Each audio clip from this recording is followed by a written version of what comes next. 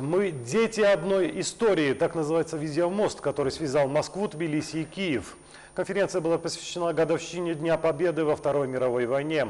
Как готовиться к 9 мая в Грузии, смотрите в сюжете Давида Цагарелли. Война – самое ужасное, что может случиться. Изабелла Монина помнит все детали Второй мировой. Говорит, что время пролетело очень быстро. Многих из ее друзей уже нет в живых. Горечь войны ветерану помогает ненадолго забыть уважение окружающих, их благодарность. Прием для героев Второй мировой для Изабеллы – радость. Кроме нее на вечер приглашены около 200 ветеранов.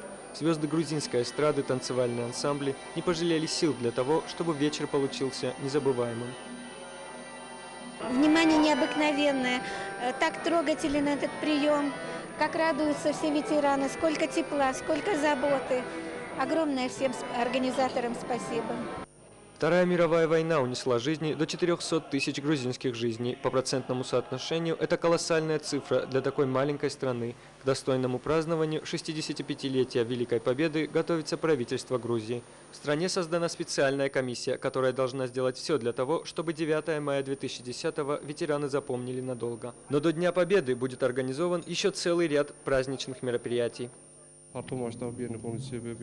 Намечены широкомасштабные праздничные акции. 9 мая ветеранам будут переданы юбилейные медали, приготовленные специально для этого дня.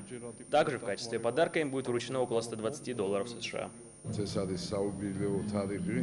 Эта юбилейная дата была создана специальная государственная комиссия, во главе которой встал премьер-министр страны Ника Гилаури. До Дня Победы будут устроены разные мероприятия для наших героев, а уже 9 мая ветеранов ждет много приятных сюрпризов.